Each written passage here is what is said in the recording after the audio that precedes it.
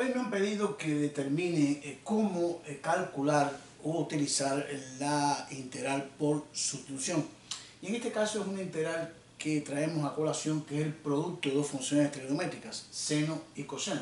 Dice así, la integral del seno de x por el coseno de x de x. Calcular cuál es la primitiva, la función que al derivarla me dé seno por coseno. Entonces, lo que vamos a hacer aquí es lo siguiente.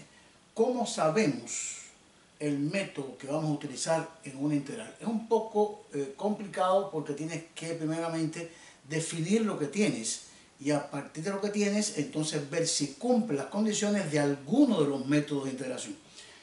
Primeramente esta integral no es una integral directa porque este es el producto de dos funciones y son diferentes. Entonces vamos a intentar el método de sustitución aunque aparezcan funciones trigonométricas. Este método es aplicable a otro tipo de funciones, logarítmicas, exponenciales, eh, potenciales, etc. ¿Qué debemos conseguir o qué debemos tener para poder utilizar el método de sustitución en una integral que sea de esta característica? Repito, no importa que sea trigonométrico o no. Lo que me hace falta es de las funciones que tengo, en este caso tengo dos funciones, que una de ellas derive como la otra o me dé un múltiplo de ellas. ¿Qué estoy diciendo? Por ejemplo, si una de las dos deriva como la otra, entonces tengo la función y su derivada. Entonces yo diría, bueno, ¿quién es la derivada del seno de x? Y aquí hemos colocado una tabla de algunas recomendaciones, recordatorios de eh, integrales derivadas. Recordemos que la integral directa del seno de x es menos coseno de x la integral del coseno de x es seno de x. Viceversa, como son opuestas, en este caso son inversas, la derivada del seno es coseno y la derivada del coseno es menos seno. Esto es lo que conocemos eh, trivial, o sea, más simple de derivadas integrales directas de la función seno y coseno. Entonces la pregunta, tengo seno por coseno, ya creo que se han dado cuenta. Si yo tengo seno de x y yo la derivo ¿Qué me daría el seno de x al derivarlo? Me daría coseno de x, que es decir, que allá tengo una función, la primera que es seno de x, que al derivarla me da la segunda.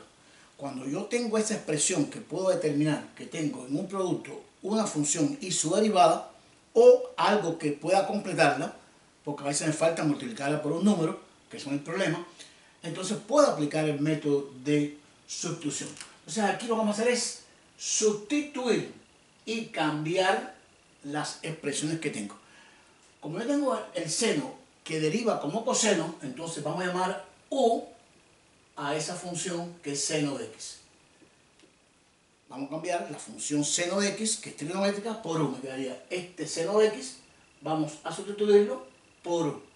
Por, y ahora me quedaría ver cómo obtengo esta expresión que está aquí, o algo parecido a ella, aunque haya, repito, que multiplicarla por una constante. Si es seno de x, ¿quién sería entonces du? Porque como aquí todo está en función de x, yo voy a hacer un método de sustitución. Lo que estoy haciendo es cambiando las variables, llevarla a la integral de otra variable. La variable vamos a usarla como u. Fíjense que la función seno de x la llevé a u, es decir, la puse en función de una variable u. Entonces vamos a derivar u ¿Qué pasaría? Bueno, si u es seno de x, ¿quién es la derivada del seno de x? Dijimos que la derivada del seno de x es coseno de x. Coseno de x es la derivada del seno de x. ¿Y quién es la variable? La variable es x, por, en este caso, su diferencial. Quiere decir, si u es seno de x, entonces du, que es la derivada de u, o el diferencial de u, va a ser el coseno, que es la derivada del seno, por su diferencial. Y la pregunta, ¿quién es esta expresión que está aquí? Es de u.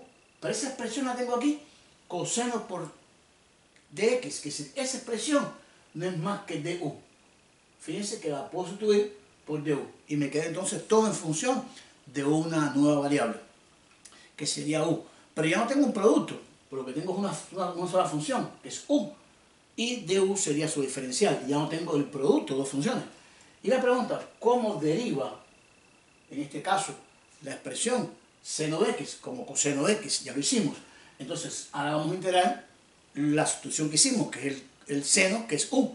Me quedaría u por du. La pregunta ahora, ¿quién es la integral de u? u es una potencia con exponente 1. ¿Cómo se eh, efectúan las integrales de la potencia? sumando una unidad. Sería u al cuadrado, porque tengo exponente 1, sobre el mismo exponente más la constante de la suma. Es una integral directa de una potencia. Y entonces me quedaría, en la sustitución, vuelvo a llevarlo a la variable original. ¿Quién era u? U era más que el seno de x. Me quedaría seno de x al cuadrado. O sea, cuadrado de seno de x sobre 2 más la constante de integración. Y aquí tendríamos entonces ya la integral, la función primitiva del producto de seno por coseno aplicando el método de sustitución. Es la integral, que es en este caso la función directa, la primitiva, entonces ella debe derivar como aquella función. Si nosotros derivamos el seno cuadrado de x sobre 2 más una constante, vamos a derivarla, o sea, la derivada de la respuesta, que es la primitiva, me debe dar la derivada, que es seno por coseno. Recuerden, vamos a dejar el medio, indicado aquí, que es una constante, y ahora, ¿cómo deriva el seno cuadrado? Recuerden que aquí aplico eh, la, derivación, en este caso, de las potencias. Sería entonces seno cuadrado de x, derivaría como 2 seno de x por la derivada del seno de x. Recuerden que es dos veces la base por la derivada de la base, más, en este caso, la derivada de la constante. Esto nos quedaría un medio que multiplica a 2 seno de x por, ¿y cómo deriva el seno de x? Deriva como coseno de x, más, y la derivada de una constante, recuerden que es cero, porque al agregarle estamos buscando el conjunto de funciones primitivas. Simplificamos 2 con 2 que estamos multiplicando y dividiendo y obtenemos seno de x por el coseno de x. Y hemos obtenido la respuesta de la función que tengo para integrar que es seno por coseno. Donde su primitiva es seno cuadrado sobre 2 más la constante, que es el conjunto de funciones primitivas, aplicando el método de sustitución. Recuerden lo que planteamos, para utilizarlo necesitamos que una de ellas sea la derivada de la otra o parte de ella eh, con un completamiento para poder aplicar el método. Si no, hay que recurrir a otros tipos de integrales, otros métodos, que existen métodos de interacción por partes, fracciones, etc. Hay muchos tipos de eh, métodos de interacción, pero hay que ver cuál es el que más conviene. En este caso, como tenía la función y su derivada, que era seno y coseno, pude aplicar el método más sencillo de sustitución. Espero les haya gustado, les sirva para sus estudios, se me suscriben, activan la campanita y nos vemos en nuestro próximo video. Muchas gracias.